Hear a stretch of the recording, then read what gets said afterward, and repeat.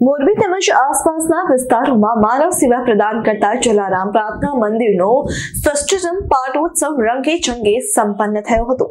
જલારામ મંદિરનો ષષ્ઠતમ પાટોત્સવ પંચવિધિ કાર્યક્રમો સાથે ધામધૂમથી ભક્તિભાવપૂર્વક ઉજવવામાં આવ્યો હતો. જ્યારે સવારે છ કલાકે પ્રભાત ધૂન યોજાઈ હતી, જે બાદ સવારે નવ કલાકે જુલદાપુલની દુર્ઘટનામાં દિવંગતોને આત્માશ્રી વૈદિક મહાયજ્ઞ યોજાયો હતો અને સાંજે ચાર કલાકે જલારામ મંદિરના સેવા કાર્યોના સહયોગીઓનો સન્માન સમારોહ યોજાયો હતો.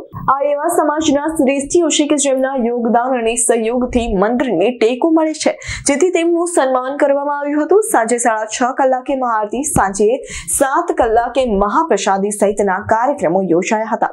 જલારામ પ્રાર્થના મંદિર અનેકવિધ સેવાકીય પ્રકલ્પો હાથ ધરવામાં આવે છે. જે અંતર્ગત એમ્બ્યુલન્સ સેવા સબ વાહિની સેવા, વૈકુંઠ રથ સેવા, અંતિમ યાત્રા, બસ, ફ્રીઝ, સબ પેટી, દરરોજ બપોરે અને સાંજે પ્રસાદની વ્યવસ્થા દર ગુરુવારે મહાપ્રસાદ, બિનવારસી, મૃતદેહોના અંતિમ સંસ્કાર, સામૂહિક અસ્થિ વિસર્જન, મેડિકલ સાધનોની સેવા. મેડિકલ કેમ્પ, બ્લડ ડોનેશન, પદયાત્રીઓની સેવા દર મહિને વિનામૂલ્યે નેત્રમણી નેત્ર યજ્ઞ કેમ્પ સહિતની સેવાઓ. વિનામૂલ્યે પ્રદાન કરવામાં આવે છે. આ તમામ પ્રકારની સેવાઓમાં જે દાતાઓનો સહયોગ મળે છે. તેમનું જલારામ પ્રાર્થના મંદિર દ્વારા સન્માન કરવામાં આવતું હતું. મોરબી તેમજ આસપાસના વિસ્તારોમાં વિવિધ પ્રકારની માનવ સેવા પ્રદાન કરતા શ્રી જલારામ પ્રાર્થના મંદિરનો સટદશમ પાટોત્સવ તિથિભાવપૂર્વક ઉજવાયો હતો.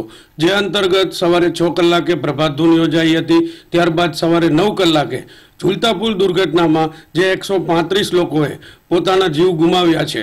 તેમના આત્માના શાંતિ અર્થે મહા શાંતિ યજ્ઞનું આયોજન કરવામાં આવ્યું હતું. ત્યારબાદ શ્રી જલારામ પ્રાર્થના મંદિરની સેવાકીય પ્રવૃત્તિમાં જે સમાજના વિવિધ શ્રેષ્ઠીઓનો સહયોગ સાંપડ્યો છે, તે સહયોગીઓનો સન્માન સમારોહ ત્યારબાદ મહાપ્રસાદનું અનેરું આયોજન કરવામાં આવ્યું હતું.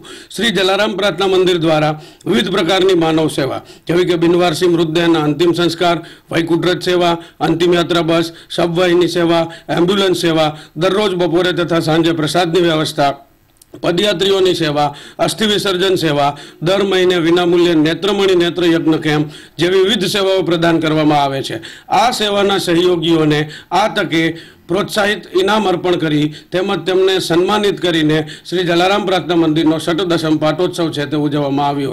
રવિ મોટવાણીનો રિપોર્ટ એસ ન્યૂઝ મોરબી.